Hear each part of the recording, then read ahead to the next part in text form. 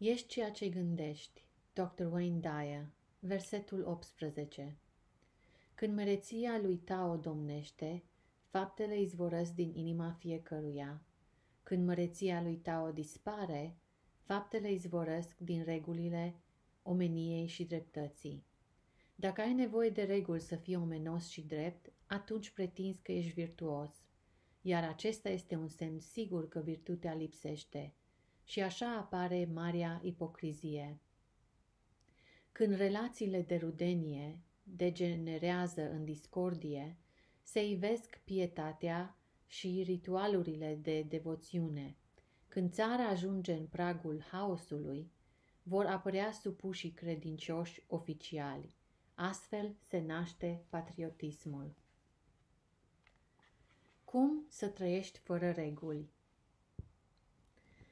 Imaginează-te într-o lume unde nu există reguli și legi, unde toată lumea trăiește în pace și armonie. Nu există anarhie, hoție, ură sau război. Oamenii pur și simplu trăiesc, muncesc, iubesc și se joacă fără să aibă nevoie să fie guvernați. Poți să-ți imaginezi o planetă unde nevoia de coduri de comportament și dispoziții pentru guvernarea populației să fie efectiv superfluă? Acesta este cu aproximație scenariul mental idealist care l-a îndemnat pe Laozi să creeze acest verset din Tao Te Ching, în care afirmă clar că nu ai nevoie de reguli pentru a fi drept și bun. Încerc să sugerez că dacă îți modifici felul în care te raportezi la motivul fundamental pentru orice proces de reglementare, atunci și organizațiile care controlează societatea, politica și sistemul judiciar se vor schimba în cele din urmă. Mai e nevoie să adaug că se vor schimba în bine?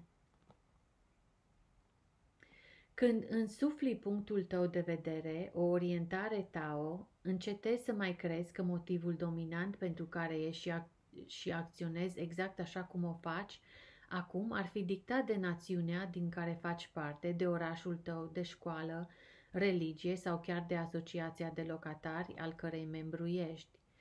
Legile și regulile sunt considerate de mulți drept singurele responsabile pentru orice gest efectiv de amabilitate, dreptate sau iubire, dar tu poți alege să trăiești cum îți dictează inima, considerând aceste virtuți ca pe niște responsabilități individuale, la care aderi fă, fără ca vreun statut sau vreo convenție să ți-o ceară.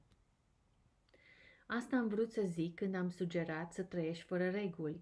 Poți alege să consideri că ești de acord cu reglementările și legile care patronează afacerea ta guvernul, familia și religia, în loc să ai impresia că acționezi într-un anumit fel din cauza lor. Îți promit că atunci când vei adapta gândirea bazată pe reguli la atitudinea bazată pe vocea inimii, viața ta se va schimba. În orientarea Tao, bucuria fără limite, amabilitatea, abundența și bunăstarea se revarsă peste tot. Dacă privești astfel viața, regulile devin irelevante. Poți acționa în conformitate cu aceste principii de generozitate și mărinimie, care sunt esența Tao. Fă din dragoste un fundament solid care să motiveze pe toți din familia ta să fie iubitori, în loc să se simtă doar obligați să fie amabili cu alții. Asta nu înseamnă că nu există o anumită etichetă sau un cod de conduită de urmat ci că motivul pentru care faci toate acestea este ca iubirea și buna intenție să fie împărtășite tuturor. Și dacă este vorba să găsim și un exemplu de infracțiune în acest nou sistem, acesta ar fi oprirea sau împiedicarea propagării energiei iubitoare Tao. Tu și copiii tăi puteți învăța cum să schimbați felul în care priviți normele și legile. Când se pierde armonia, o regulă poate părea utilă, dar asigură-te că toată lumea din familia ta e de plin conștientă că de fapt îi înveți cum să trăiască fără această regulă. Existența codurilor de comportament, ca și a codurilor de bune maniere, e o dovadă clară că nu permitem principiilor Tao să curgă liber prin viețile noastre. Dacă afli însă că este responsabilitatea personală a fiecăruia să trăiască fără să se controleze îndeaproape, Acest lucru va demonstra că atunci când îți schimbi gândurile, îți schimbi de fapt viața. Putem merge și mai departe. Întreabă-te dacă legile creează o societate sănătoasă și dacă patriotismul este apreciat. Sau nu cumva mai degrabă într-o, într anumită perioadă în care într-o țară domnește haosul sau are loc un război civil, legile și codurile ce vizează patriotismul trebuie să fie puse în aplicare? Regulile sunt create pentru a impune pedepse care au ca scop controlarea sau guvernarea oamenilor care nu și-au asumat responsabilitatea personală ca parte din întregul reprezentat de grup, de grupul din care fac parte. Și totuși, dimensiunea națională a unității nu ar trebui să reglementeze dimensiunea universală, pentru că unitatea Tao este mai presus de unitatea oricărui grup de pe pământ. Așa că, iată pe scurt ce se întâmplă când Marea Cale este abandonată. Apare nevoia de dreptate. Falsitatea dintre oameni creează nevoia de reguli și făuritorii de reguli devin necesari pentru a restabili ordinea. Apar miniștrii politici care să facă lumină în tot acest hățiș obscur. Știind toate acestea, cred că este esențial să ne întoarcem la acel scenariu mental ideal pe care te-am rugat să ți-l imaginezi cu câteva paragrafe mai devreme și să aplicăm ce ne spune Lao Zi în acest verset profund din Tao Te King. Lasă-ți acțiunile să izvorască din inimă care trăiește Tao. Când ești centrat pe Tao, nu ai nevoie de reguli, nici nu ești constrâns de ceea ce este considerat a fi legal sau ilegal. Motivul pentru care nu fur de la alții nu este că ar fi împotriva legii, ci mai degrabă faptul că îți asumi o responsabilitate personală pentru acțiunile tale. Viața ta nu presupune să trăiești pe baza regulilor. Motivul pentru care nu furi este acela că respecti dreptul celorlalți de a nu cădea victime furturilor, pentru că acest lucru este în conformitate cu principiile Tao. În Tao nu există ideea de furt, pentru că totul aparține tuturor. Nu există idee de posesie de pământ sau de alte proprietăți. Există numai dorința de a iubi și de a-i respecta pe toți oamenii, precum și toate lucrurile. Legile care stabilesc că furtul, mutilarea sau luptele sunt ilegale a apărut din cauza pierderii legăturii cu Tao. Nu acționa virtuos, fi virtutea însăși.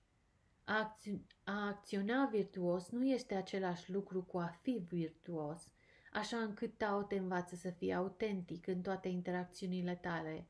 Fi pios, pentru că propria ta inimă simte evlavie față de marele Tao. Fi generos cu ceilalți în mod spontan, pentru că ți-o cere chemarea ta interioară, nu pentru că alții au stabilit în codurile lor că așa ar trebui să te comporți. Nu aștepta să izbucnească haosul înainte să-ți arăți amabilitatea și generozitatea față de ceilalți. Un dezastru natural ar putea, într-adevăr, stimula dorința de a lua legătura cu semenii tăi și de a-i ajuta. Totuși, dacă îți schimbi felul de a privi un dezastru natural, ai putea constata că el reprezintă un prilej pentru a-ți aminti că Tao este sprijinul tău îndrumător cu orice ocazie. Acest lucru ar putea să-ți inspire patriotismul, să te îndemne să te pui în slujba întregii umanități, în loc să te mărginești doar la ținutul unde s-a întâmplat să te naști. Aș vrea să-ți atrag atenția din nou asupra unui sentiment similar exprimat de Hafez, marele poet sufit. Citat Prin orice om vorbește Dumnezeu. De ce să nu fim politicoși și să-l ascultăm pe el? Citat încheiat. Iar orice om înseamnă cu adevărat orice om, nu doar cei care se supun legilor și regulilor tale. Practică Tao acum. Analizează cu atenție de ce respecti normele stabilite de oameni. Petrece câtva timp cugetând la motivul fundamental pentru care te oprești când vezi culoarea roșie a semaforului, ai permis de conducere, porți centura de siguranță, plătești ca să intri la cinema sau nu bei înainte să conduci.